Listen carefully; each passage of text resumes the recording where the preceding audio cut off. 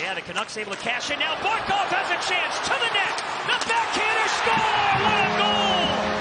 Sasha's first of the year. He answers back. There's all this this ice, and Barkov reads it perfectly and comes right in off of the deflection from Rodrigues. Let it go.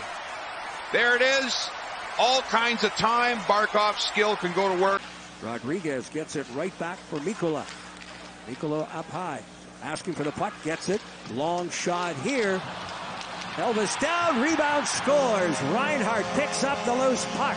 A little hesitant to get the pucks, and that creates that open spaces, those passing lanes, and the battle in front of the net. When they've got two red jerseys, able to battle inside, and then Barkov with that long reach.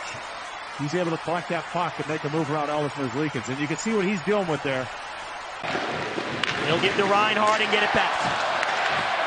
And Barkov down the wing, trying to get out in front of the net. He rolled on goal, and it's in!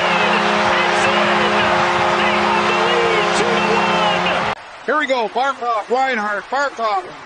Chin gets around the defense and gets a stick on it and a bouncing puck. Watch the puck bounce here.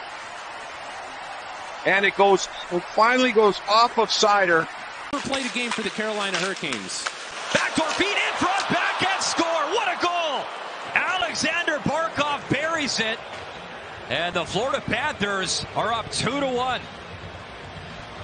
And there's a big reason why the Florida Panthers are where they are in the standings this season. Sasha Barkov, watch the Canadiens coverage. All five players watching one player in the corner. Barkov is able to sneak in behind. It's Vladimir Tarasenko who sees Barkov.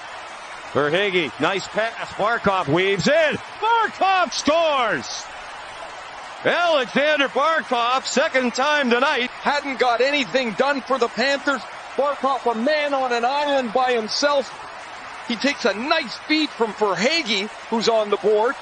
And Barkov uses patience and his long reach to freeze Stuart Skinner